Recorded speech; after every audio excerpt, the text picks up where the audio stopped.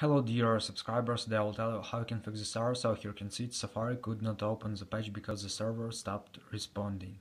So how you can also fix this problem? So first thing, just check your internet connection. So if you're using Wi-Fi, just go to the settings and in the settings you need to find your Wi-Fi.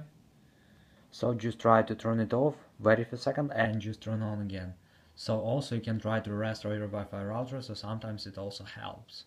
And if you use cellular data or mobile data, just try to turn off cellular data and turn on again. Also, you can try to turn on airplane mode, wait for a second, and just turn it off. So another thing you can try, you can try to go to the general. In the general, just scroll down, just tap on shutdown, slide the power off, wait for a second, and just power your phone again. So just simple restore your phone.